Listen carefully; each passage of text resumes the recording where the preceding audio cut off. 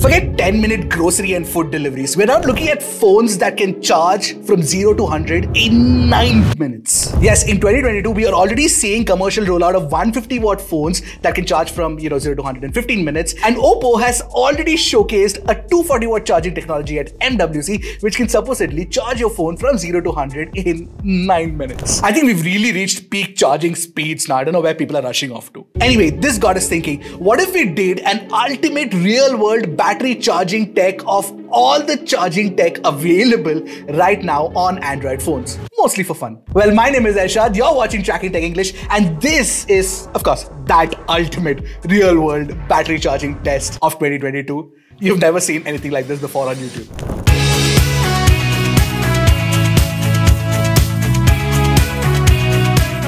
You know, our team picked out so many phones for this test that we actually had to do it in two batches. The first batch includes six phones with varying charging speeds from as low as 18 watts to as high as 33 watts. Now, these phones include the Realme 9 5G, the Moto G51, the Samsung Galaxy A53 5G, the Realme 9 5G Speed Edition, and uh, you know the Poco M4 Pro and the Redmi Note 11s. Now, for the process, we put all the phones in airplane mode, cleared out all the apps from the background, removed any battery battery optimizations that were there and set the brightness to maximum. Then we drained the batteries completely and charged to 100%. Now for this test, I've not gone into the granular details because then it would become a 20 minute video, but the results themselves are not very surprising. The battery sizes of all these phones, interestingly, are all at 5000 mAh, creating a level playing field. The Redmi Note 11s and the Poco M4 Pro charged from 0 to 100 in 1 hour 11 minutes and 1 hour 15 minutes respectively. And the 30 watt charging technology managed to charge the Realme 9 5G Speed Edition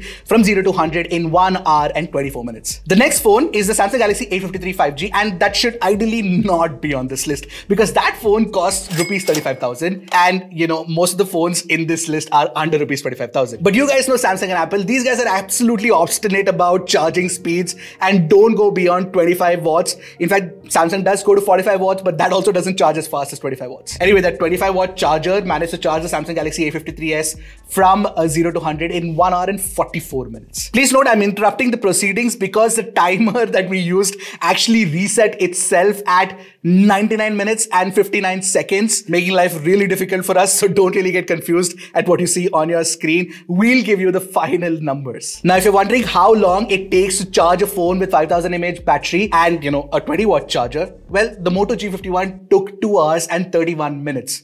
That's your ballpark range. Now, if you think that's too long, wait for it. No one, I repeat, no one should be subjected to the torture of 18 watt charging speeds. I'm saying use 18 watt charging speeds on hardened criminals to make them confess their crime.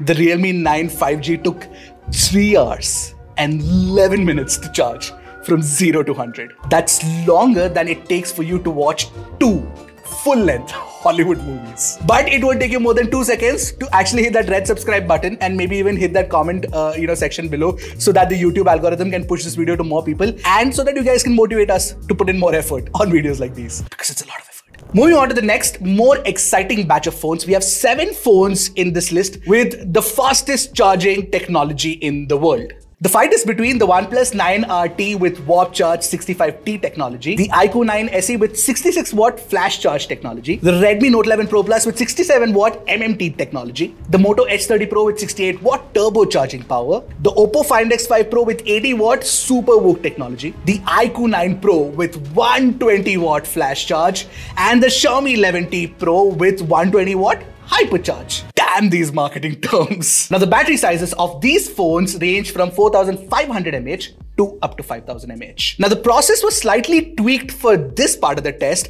We obviously put uh, you know the phones in airplane mode, cleared all the apps from the background, removed all the optimizations and switched on the always on display. I know that Xiaomi states that you have to keep the Mi 11T Pro with screen switched off for it to achieve that 17 minute charging time that they claim. But this is a real world test and all the parameters have been matched. And in any case, we wouldn't be able to tell the battery life at different levels uh, if we didn't keep the you know always on display on. At the 5 minute mark, the iQOO 9 Pro had started racing ahead. It had already reached 32% charge and the Xiaomi 11T Pro only managed 12% charge, which also comes with a 120 watt charger. In fact, the Oppo Find X5 Pro was actually ahead of it at 13% charge, and the Moto Edge 30 Pro didn't even switch on.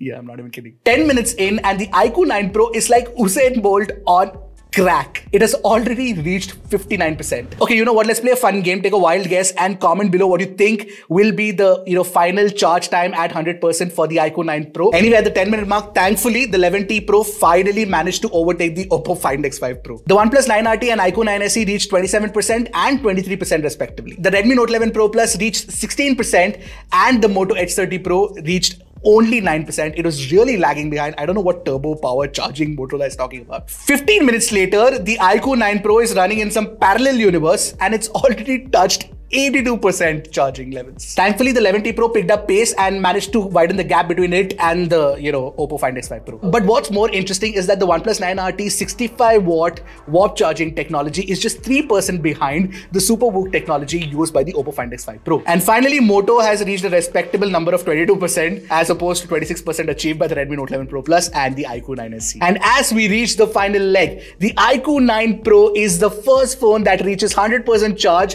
in 90 19 minutes and 56 seconds. I want to give a standing ovation to iQOO for actually living up to the marketing claims. And the 11T Pro with its 120 watt fast charging tech came in second. It managed to reach 100% in 27 minutes and 20 seconds, which is way off the 17 minute number as uh, you know proposed by Xiaomi in their marketing claim. Obviously, it's dependent on a lot of parameters and your charging speed mileage could vary.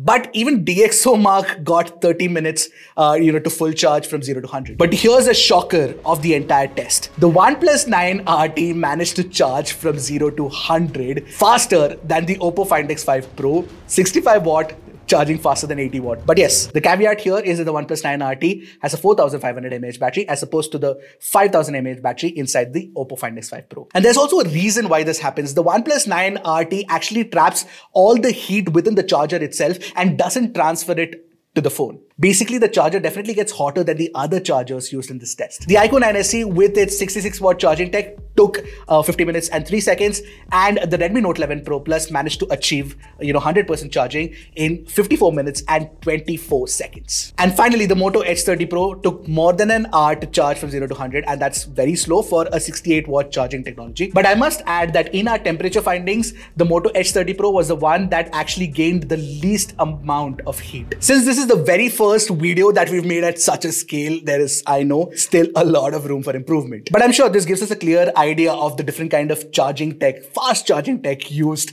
by different brands. Boy, but it took a lot of effort. We got it wrong twice and I had to rerun it again. You know, there were electricity cuts as well. And we missed an office cricket match for this video. So hitting that red subscribe button is something that is your duty. Anyway, now I'm off to devise a plan to find out if fast charging tech is actually degrading battery life as opposed to slow charging tech. Sujay, the idea for our next video is ready. Oh. Don't worry, Sujay will get it done. Until next time, keep tracking and stay safe.